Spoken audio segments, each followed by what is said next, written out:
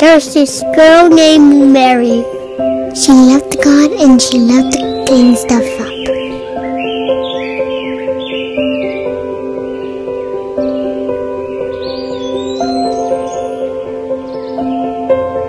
But one day, an angel appeared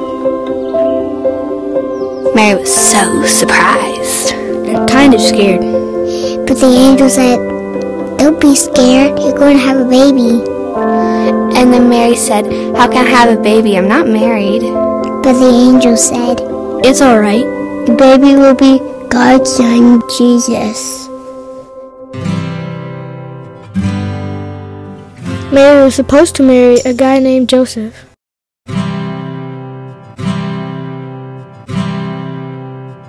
She said to him, Look, I'm gonna have a baby. Joseph was pretty surprised too. Because he didn't know how to be a dad. But he wanted to take good care of the mom and the baby. Right before the baby was going to be born, Joseph and Mary had to go on a long trip to a town called Bethlehem. But it was okay. Because Joseph made sure that Mary didn't have to walk by herself.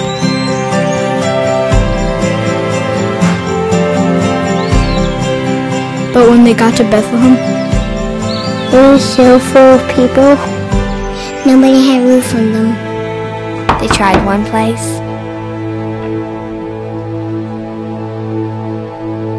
And couldn't get other place.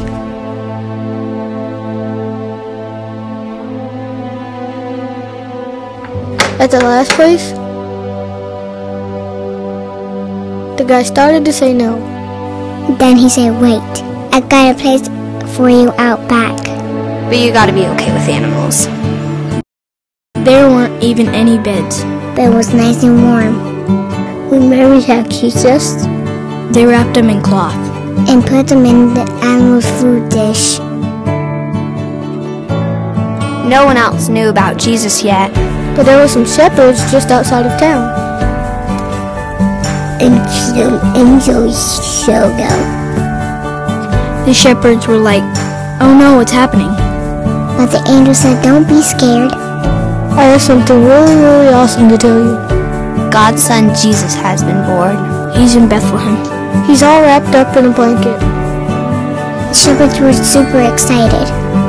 So they got everyone together and ran to find Jesus. They were really glad when they found the right place. They were like, Is this where Jesus is? And Mary let them come in. And they even got to hold and cuddle the baby. Sometime later, some kings were living far away from baby Jesus. But God sent them a special star. The kings followed the special star a long way. A really long way. A really, really long way. The star showed the kings right where Mary and Joseph and baby Jesus were. They even brought special presents for baby Jesus. Then everybody had a big party. Because they were so glad that God sent baby Jesus.